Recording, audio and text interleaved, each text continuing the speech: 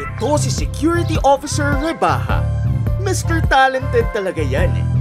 Mahilig sumayaw at mabuti ang pakikitungo sa lahat.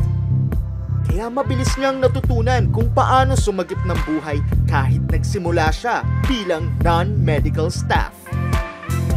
Sa The Medical City, ang tunay na talent ay pusong nagmamalasakit